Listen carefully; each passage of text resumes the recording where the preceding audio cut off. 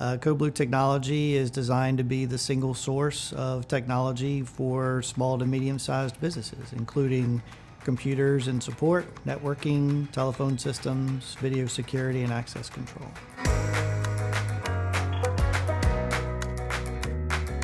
Our mission has always been, for almost 19 years, to be the answer for a small to medium sized company in matters of technology. From sort of a beginning engagement of just consulting and counseling and learning and understanding their business and how they want to leverage technology, and then combining the right products and services with that to make sure that they end up with the solution that they're expecting and something that's additive to their business.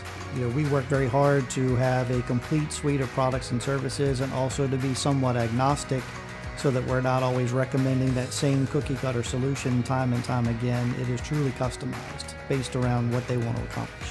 Our footprint has grown to be from southern Maryland to northern North Carolina. It originally started in Greater Richmond. We also have a, a, second office out in the northern neck region of Virginia. We feel like that's a very special area. We've had customer relationships down there you know, the whole tenure of CodeBlue technology.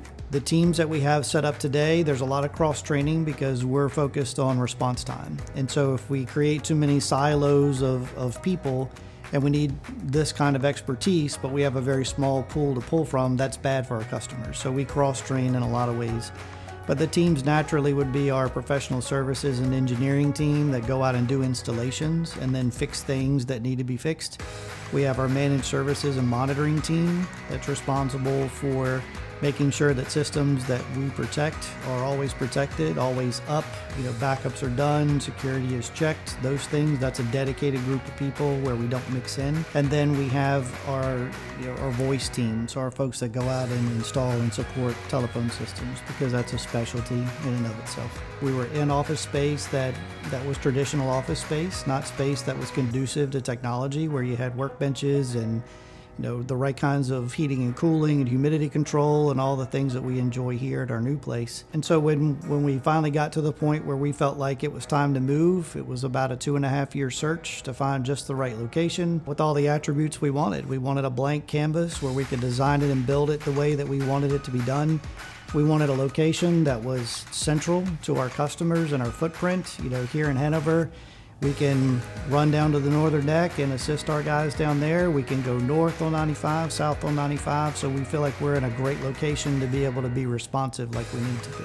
And the real difference with Hanover was the involvement of Hanover Economic Development. They took an interest when they heard that we were looking, and I got to meet Linwood Thomas and get to know him and some of the team there. They actually, even though we're a small company, they took a genuine interest in finding us a good spot to land in Hanover and that's attention that we didn't get in the other jurisdictions. The process just was smooth all the way through. I can't think of a single snag that we hit along the way building out the office. And then the folks in economic development said, We don't think you're going to hit any snags, but if you do, let us know. We'll help you get those snags worked out.